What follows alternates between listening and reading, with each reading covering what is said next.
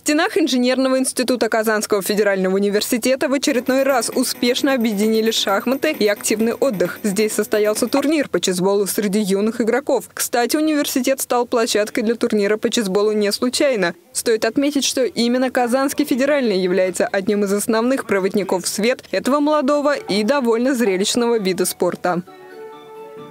Ну, в принципе, чейсбол – это, как говорится, детище Республики Татарстан, и у нас федерация есть, и мы, соответственно, университет является одним из проводников этой игры.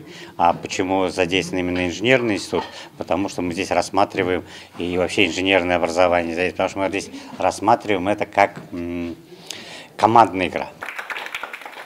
На этот раз в турнире приняли участие не студенты и даже не опытные шахматисты. Зрелищную игру разыграли команды Казанской шахматной школы имени Нижмеддинова и Московского интеллектуально-спортивного центра КАИСа. Теперь можно не сомневаться, чесбол действительно продолжает набирать популярность не только в Татарстане, но и за пределами республики. А, действительно, мы третий год уже проводим умные каникулы в Татарстане. Мы выезжаем с ребятами, вот, которые занимаются шахматами. И не обязательно это ребята, которые будут шахматы заниматься как видом спорта, а именно как э, инструментом личностного развития, который развивает э, ребенка гармонично.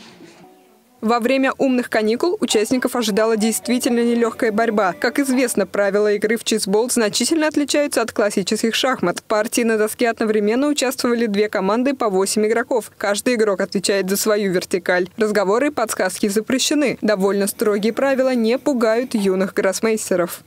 Я начала заниматься в 4 года. Я считаю, что я прошла ну, в такое нормальное время, потому что э, иначе ты как-то не очень будешь играть, сильно э, можешь не, не очень начать.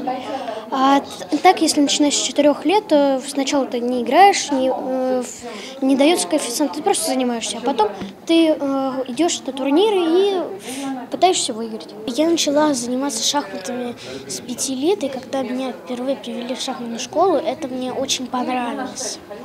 А я знаю, что если хочешь сделать ход, надо нажать специальную кнопку и сделать ход, который ты хочешь, на своей вертикали. Данный турнир стал первым за небольшую историю чесбола, на котором состязались школьники из разных городов. Как отметили организаторы, детский чесбол, скорее всего, еще неоднократно вернется и, несомненно, укрепит деловые и дружеские связи между городами России.